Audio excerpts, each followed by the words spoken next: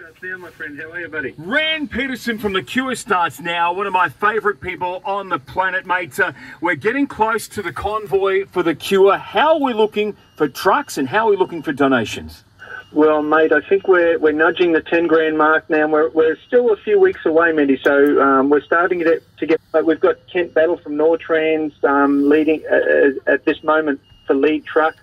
And for, for the largest fleet, we have uh, Followmont and Either Way Solutions, great supporters of the Cure Starts Now and, and supporters of our cancer families, Minty. So, um, yeah, buddy, um, we're, we're so forward to the day and we're so thankful to have you and Triple M aboard, buddy. Mate, it's great to be on board because last year was something very, very special. We had an incredible day, so many trucks and bikes shut down the city. I know we'll do it again. And for me personally, it was meeting young Slater, the little boy with the Slater Bug truck. We got to meet him just before the, uh, the the convoy took off, and he's an amazing little kid who's been through so much for such a young age. But it was the real reason why we do what we do with the Cure Starts Now.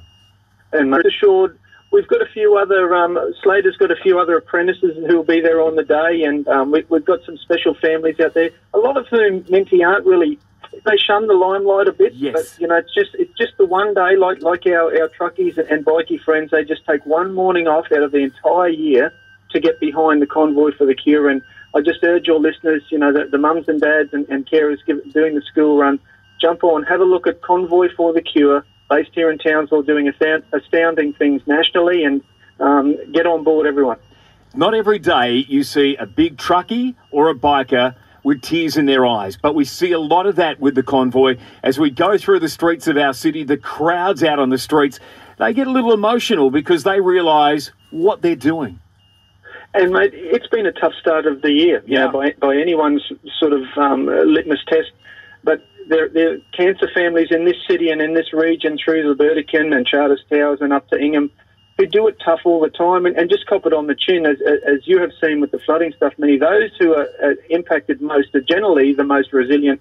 And you're dealing with a pretty resilient uh, bunch with the Convoy for the Cure people. And I just, again, buddy, I just urge all your listeners to get behind Convoy for the Cure. Even if you don't know anyone, jump on, jump on board and just throw a couple of bucks toward a, a truck or a motorbike you like, and um, just help us, help others, Glenn. I love the way you do that. Get on board. If you're a trucker, your bike, you want to take part, get onto the website and get yourself signed up as well. It really is quite an incredible day. Convoy for the Cure is proudly supported by us at Triple M. Thank you, Ren, for the time. We'll chat again real soon. It's always a pleasure, Minty. Thanks, buddy. Music that makes you feel good and events that do the same. We are Triple M.